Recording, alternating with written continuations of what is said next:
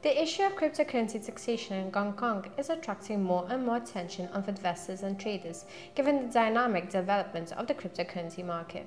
The taxation of cryptocurrencies in Hong Kong is a complex topic that requires a careful study and understanding. Investors and entrepreneurs are advised to thoroughly understand the tax and accounting rules for cryptocurrency transactions in order to effectively manage the tax liabilities and avoid unpleasant consequences.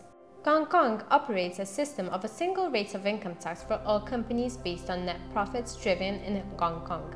The rate is currently 16.5%. Business and individuals are advised to analyze and prepare the possible changes in the laws and develop appropriate strategies to optimize their tax liabilities. If you are interested to hear more in regards to cryptocurrency taxation in Hong Kong, contact Regulated United today.